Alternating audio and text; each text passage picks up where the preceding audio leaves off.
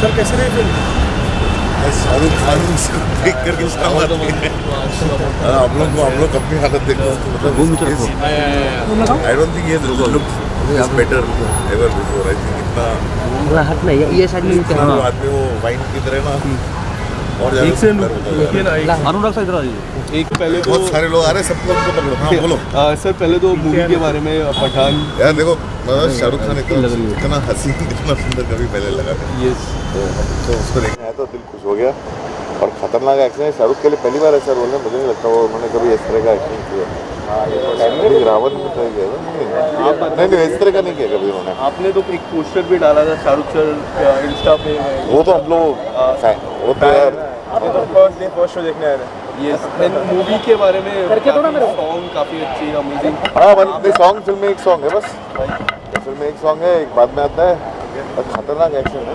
खतरनाक एक्शन है। जॉन और शाहरुख का एक्शन बहुत खतरनाक है। ये जिस प्रकार की फ़िल्में शाहरुख करते हैं एक रोमांटिक ये क्या उससे हटके है? उसके बारे में थोड़ा सा। बताएँ। ये बिल्कुल अलग फ़िल्म है। ये उनका अपना जैसा वॉर थी जैसा टाइगर है उस जोन की फ़िल्म है। और शाहरुख इस तरह की फ़िल्म करते हुए पहली बार देखा मैं कि कैसे लगेंगे वो। क्या बॉडी बनाई भाई उन्होंने अभी सर मुझसे पूछ रहे थे बॉडी कैसे बनाती है। असली है। और खतरनाक बनाई है कुछ फैंस बोल रहे थे कि सेकंड हाफ़ तो ऐसा है कि आप कुर्सी से उठ नहीं सकते का इतना कैची नॉन बाँध स्टॉप एक्शन है। इसलिए वो पूरा फॉर्मेट है नॉन स्टॉप एक्शन है। उस तरह की फ़िल्म आपको अच्छी लगती है तो बहुत ही ज़्यादा मज़ेदार है। हमारे कुर्सी तो उठ नहीं सकते वो तो थ्रू द फ़िल्म है। As a film maker sir जिस तरह का टाइम ऐसी फ़िल्म में देख सकता हूँ बना नहीं सकता जिस तरह का टाइम रहा है बॉलीवुड का और शाहरुख खान ने अरे ये सब मुझसे मत पूछो भी अच्छा, ये- क्या है? पठान हम सबके लिए बहुत इंपॉर्टेंट फ़िल्म है। शाहरुख खान स्क्रीन पे वापस आ रहे हैं।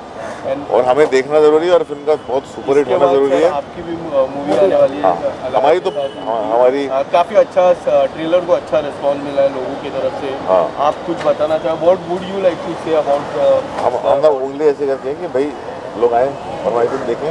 हमारी फ़िल्म जो है छोटी सी पेशकश है एक लव- एक यूथ की कहानी है यंग लोगों की कहानी है। इंटरेस्टिंग स्टोरी है।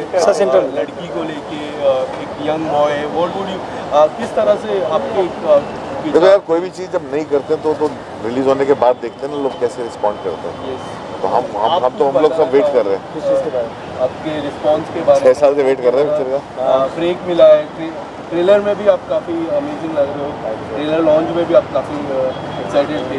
कुछ अगर रिस्पॉन्स के बारे में आप बताना चाहो। जी हम खुश हैं। हमने एक्सपेक्ट नहीं किया कुछ। हमने छः साल सात साल मेहनत की वेट किया है।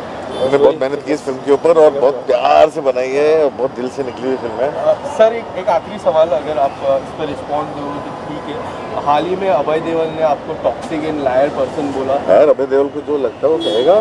तो देखो मतलब पंद्रह साल पुरानी बात है। पंद्रह साल पुरानी बात है किसी ने पूछा अभय देओल जैसा अच्छा एक्टर इंडस्ट्री में क्यों नहीं काम कर रहा? तो मेरा जो एक्सपीरियंस था मैंने कह दिया उनको बुरा लगा मैंने उनसे माफ़ी मांग ली। तो पब्लिक में नहीं कहना चाहिए। और उनको अभी भी बुरा लग रहा था। फिर से माफ़ी मांग लूँगा। इतना अच्छा काम किया ट्रायल बाय फायर में। तो शुरुआत कहाँ से हुई थी शुरुआत शुरुआत ये हुई थी कि इतना अच्छा एक्टर कहाँ गया? अब वो उतना अच्छा एक्टर वापस आ गया। करेक्ट बात खत्म हो गई ना सेलिब्रेट करो वापस आ गया वो। थैंक यू अनुराग जी मुझे दो मिनट